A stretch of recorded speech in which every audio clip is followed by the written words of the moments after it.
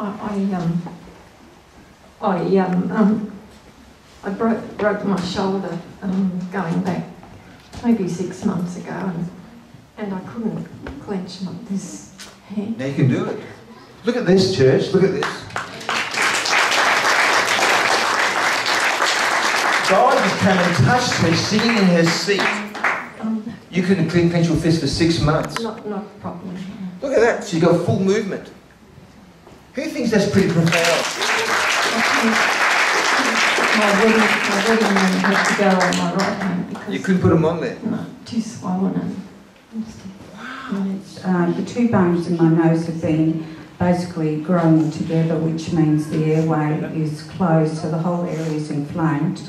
And during the prayer, I fe- felt immense cold coming through my fingers and also a lot of energy, and all the um, inflammation and the pain that I've been feeling has gone. What a hands. and when everybody was you were praying for everybody and during that time i started to feel stronger and healthier and an overall just feeling of vitality and well-being i thought this is this is amazing this is incredible You're suffering from what? What were you suffering from? back pain Is the back pain gone? yeah their back pain is gone And that was there for how long?